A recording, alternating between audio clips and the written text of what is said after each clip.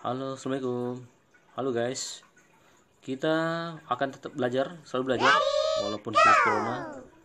Pada kali ini kita akan belajar tentang Hype Me Wintex plus PLC Omron.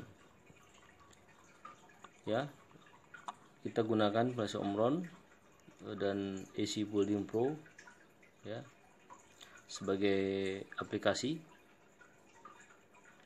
Kemudian Eh, kita gunakan supply 24 volt 4 ampere. Kita gunakan PLC Omron. Lengkap dengan kabel R232 dan juga downloader. Kita gunakan sebuah lampu indikator dan kita menggunakan HMI ya ini belajar satu libur wabah corona 1 HMI Wentek HMI Wentek dan Blasi Umron. Ditajak oleh Mekatronika Kreatif SMK 6 Pekanbaru baik.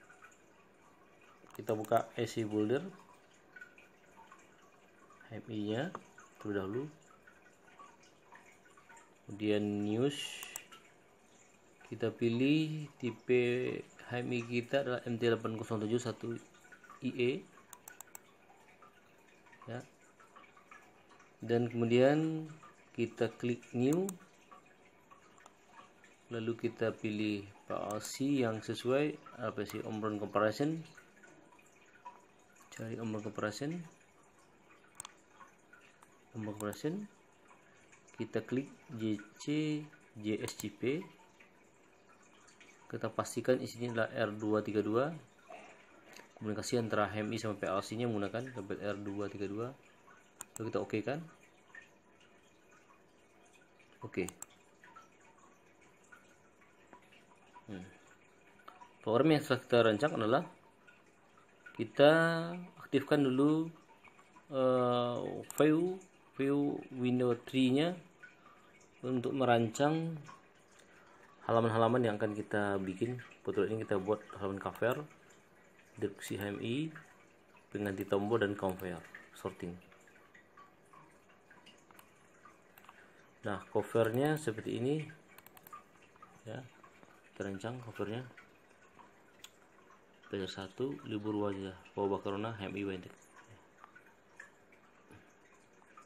ini merupakan uh, atribut yang bisa kita pindahkan ke halaman 2 kemudian di sini kalau kita lihat kalau kita klik maka di Windows nomornya akan berpindah ke halaman 11 atau diskusi HMI atau halaman kedua ya.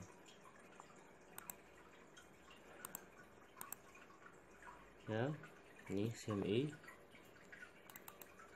ini ya.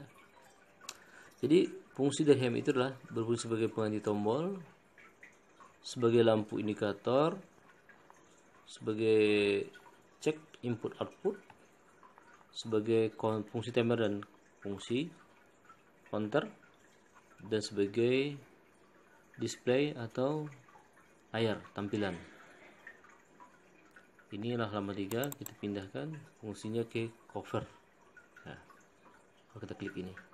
Sedangkan kalau kita klik pengen tombol kita pindahkan ke pengganti tombol ya. Ini kita akan masukkan ke pengganti tombol halaman 12 ini. Nah di tombol ini kita akan rancang start. Kita alamatkan di W00 dengan indikatornya adalah W004 stop oh, W001 indikator W06 W05 emergency detention suite alamatnya W002 kemudian indikatornya W006 reverse dan forward itu tombolnya WBIT 03 reverse 07 dan forward 08 ini sama keempat ini diklik dia akan pindah ke conveyor sorting. Control satu ini adalah gambar yang kita buat. Ini motor forward 007 motor untuk reverse 008 kemudian ini sensor benda optik ya logam optik atau warna ini tidak ada fungsi hanya sebagai benda saja. Dan ini sensor logam. Ya. pada soal ini kita akan mencoba jika kena sensor optik maka gate 1 akan aktif mendorong ke gate 1 jika tidak berfungsi sebagai optik dan logam atau tidak ada berwarna hitam dia masuk ke gate 3 sedangkan logam masuk gate. 2 semua telah kita kasih alamat sesuai dengan pemrograman yang nanti yang kita rancang pada PLC ya. Sebenarnya kita rancang pada wbit 014 untuk gate 1 gate 2 nya kita pasang wbit 015 dan ini tower nya mengikuti proses pekerjaan daripada wbit 014 itu adalah motor. Eh, adalah silinder pertama mendorong. Wbit 07 adalah motor bergerak satu jam-jam. Wbit 015 adalah silinder kedua maju mendorong benda. Ini tombol start indikator start tombol stop indikator stop dan ini emergency indikator emergency. Ini forward dan reverse ya. Baiklah. Aplikasi ini akan kita download ya download. Oh, menggunakan kabel LAN. Download. Terlebih dahulu kita harus tentukan alamat IP nya itu adalah HMI itu adalah 192.168.10.1 dan di laptop kita tidak boleh membuat alamat yang sama ya.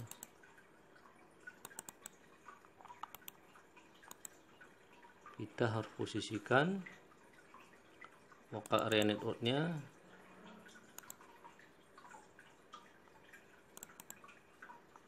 198.10.2 atau tidak boleh sama dengan alamat IP yang ada di HMI ya.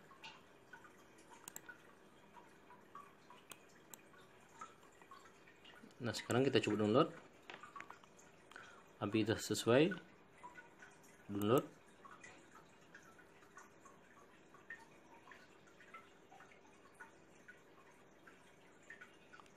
Di mana pada HMI akan ada proses downloading file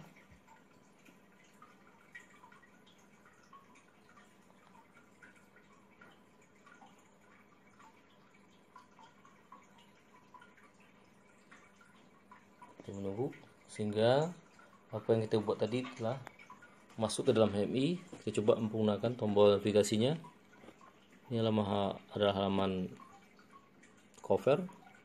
Jika klik halaman 2 pindah ke halaman 2 klik halaman 3 dia pindah ke halaman 3 ya kita cek. Sinilah fungsi pengganti tombol. Kita klik. Di sini ada tombol start jika kita tekan start lampu menyala. Di bank nyatanya dia juga akan menyala. Stop. Stop. Kemudian jika frekuensi jika kita start nyala. Frekuensi mati sesaat tekan lepas lagi dia akan nyala lagi.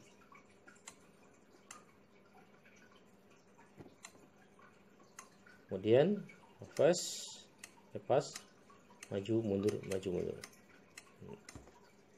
jadi fungsi HMI telah sinkron dengan fungsi output jadi sini merupakan HMI berfungsi sebagai kontrol panel dan indikator.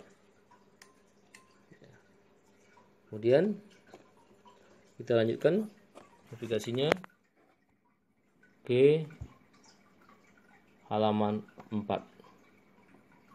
Hmm.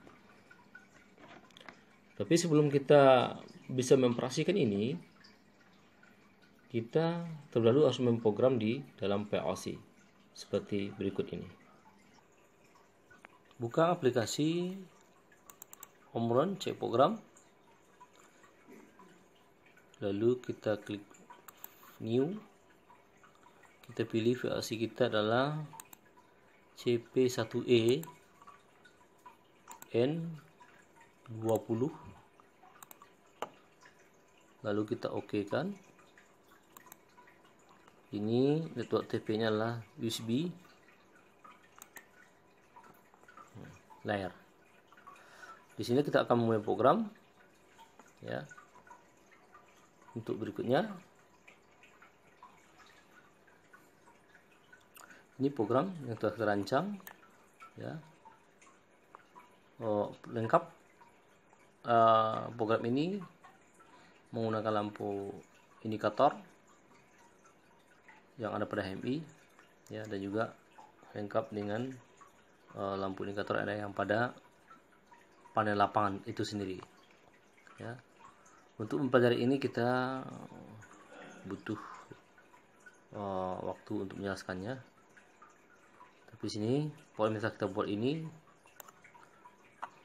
kita lakukan pengujian dulu dengan cara compile apakah ada error atau tidak. Di sini tidak ada error cuma ada warning tidak masalah ya. Hanya ada error di sini tidak ada error. Kemudian kita persiapan untuk download. Kita tekan adalah W ya. Ctrl W dan di sini menggunakan connecting terpaksa adalah USB pilih yes kemudian tekan Ctrl T. Ini. Kita klik setting. Oke okay. oke yes. Yes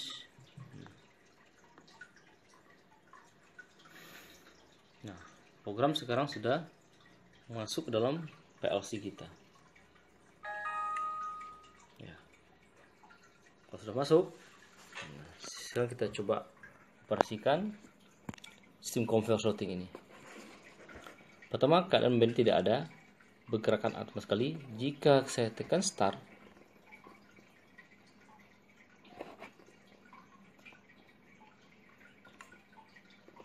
motor berjalan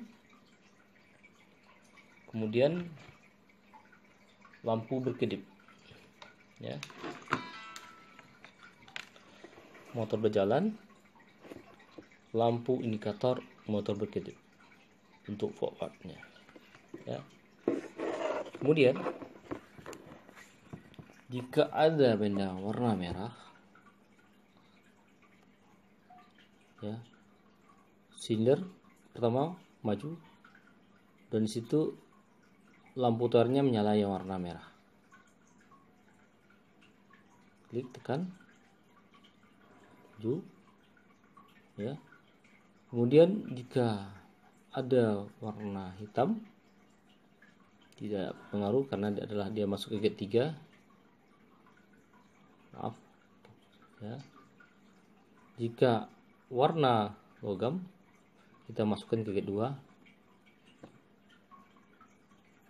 hmm. Menyala lampu tower warna biru. Nah di saat sindir maju motor harus berhenti. Pak.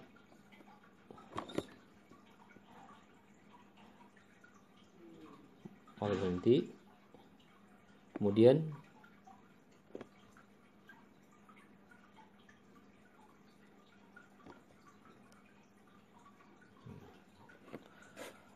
itulah sistem yang kita buat pada oh, materi pembelajaran pada kali ini.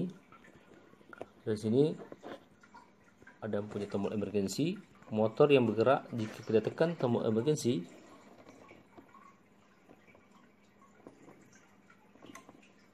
sejenak dia akan padam dan sini akan menyala lampu emergency.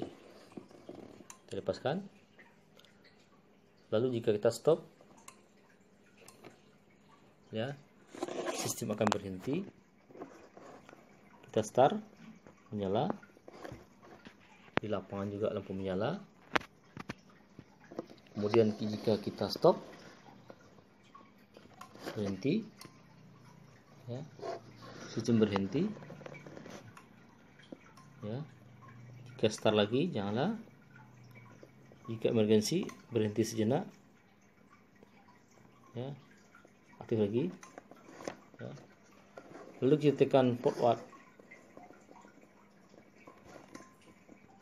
motor bergerak berarah jam lepas lagi bergerak serah jarum jam tekan lagi